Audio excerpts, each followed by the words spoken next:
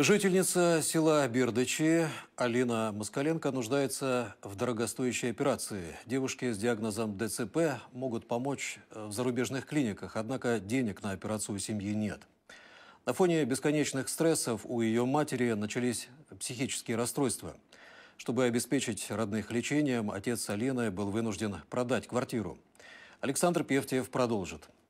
Вот и разговаривать. Морская свинка и щенок – единственные друзья Алины. В селе Бердычи девушке с диагнозом ДЦП пойти некуда. Она пытается ухаживать за животными, однако ноги едва слушаются. Курсы реабилитации, э, ну и все остальное. До какого-то определенного времени. Пока я была тоже в интернате, э, это как бы проходилось. А сейчас этого нет. Но очень тяжело своими силами. Отец Алины рассказал, чтобы оплачивать лечение ребенка, продали городскую квартиру и перебрались в село. У девочки начались эпилептические припадки, а сам Сергей попал в ДТП.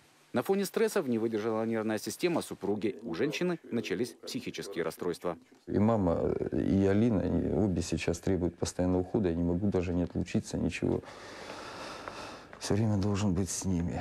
И я не могу, у меня уже просто, ну, нет возможности. Я уже не знаю, откуда откуда брать деньги. Сергей Викторович вспоминает, врачи пророчили смерть его дочери еще 10 лет назад, однако ребенок выжил. Чтобы полноценно двигаться, ей необходима серьезная операция за рубежом. Головной мозг э, ну, не управляет, то есть э, движениями, вот эта координация движений, вестибулярный аппарат не уравновешен.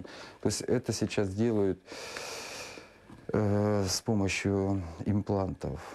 То есть э, вот эти восстанавливают разорванные связи.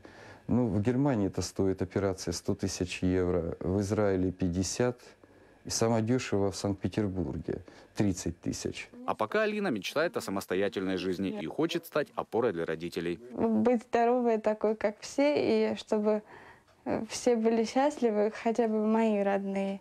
И чтобы какой-то был, чтобы была какая-то уверенность в том, что все будет хорошо.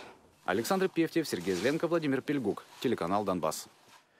Те, кто хочет помочь семье Москаленко, могут найти их реквизиты в соцсетях на страничке телеканала «Донбасс» ВКонтакте и Фейсбуке.